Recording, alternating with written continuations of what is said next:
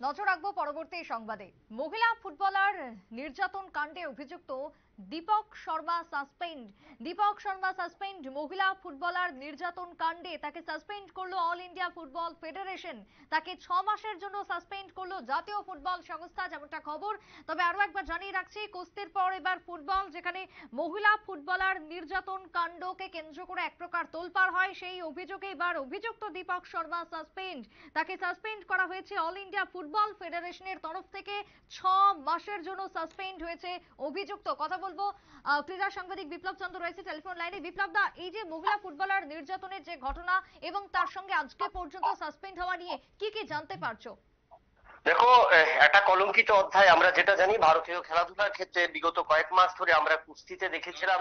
কুস্তিতে মহিলা নির্যাতনের কারণে আমরা দেখেছিলাম কুস্তিগিরা আন্দোলন করেছে এবং তাদের উপরও লাঠিচার্জ করেছিল পুলিশ। এবং সেই তার রেশ কাটতে নাই, কাটতে কিন্তু আরেকটা কলঙ্কজনিত অধ্যায় রচিত হলো, সেটা হলো ভারতীয় ফুটবল। এবং ভারতীয় ফুটবলের মহিলা ফুটবলারদের সাথে কিন্তু যৌন হেনস্থার একটা অভিযোগ উঠেছে এবং তার কারণে কিন্তু সাসপেন্ড হতে হলো দীপক শর্মাকে। সর্বভারতীয় ফুটবল ফেডারেশনের গোয়ায় যে অনুষ্ঠিত হয়েছিল, সেখানে গোয়ার দুই মহিলাকে শারীরিকভাবে নির্যাতন করেছিল আইএফ এর কার্যকরী কমিটির সদস্য। এবং শেষ পর্যন্ত এই তার বিরুদ্ধে যখন অভিযোগ দায়ের করে গোয়াতে এবং সেখান থেকে তিন সদস্যের একটা কমিটি গঠন করা হয় এবং তিন সদস্যের এই কমিটি গঠন করার পর শনিবার দিন তাদের প্রথম বৈঠক হয় এবং প্রথম বৈঠকে কিন্তু সেই বিষয়টা নিয়ে আলোচনা হয়।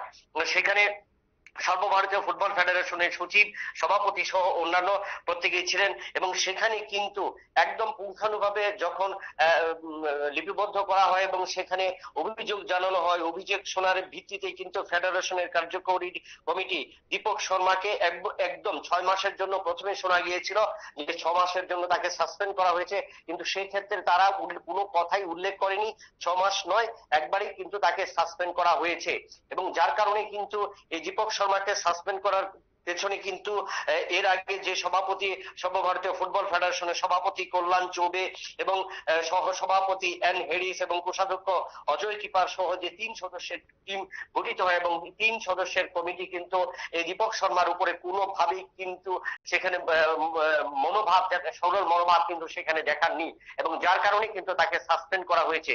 তার কারণ হলো ভারতীয় মহিলা ফুটবল যেন ডেভেলপ করে এবং ভারতীয় মহিলা ফুটবলার যে, ফুটবলাররা যেন ফুটবলের প্রতি আকৃষ্ট হয় এবং ফুটবলের যেন মান কলঙ্কিত না হয়, সেই ক্ষেত্রে এই প্রাক্তন যে ভারতীয় দলের গোলরক্ষক কল্যাণ চৌধুরী যিনি বর্তমানে ভারত সর্বভারতীয় ফুটবল ফেডারেশনের সভাপতি, তিনি কিন্তু কড়া মনোভাব দেখালেন এবং তাকে কিন্তু সাসপেন্ড করে দিলেন। এবং সেক্ষেত্রে ছয় মাস নয়, একেবারে কিন্তু তাকে সাসপেন্ড করা হলো এই কমিটি থেকে।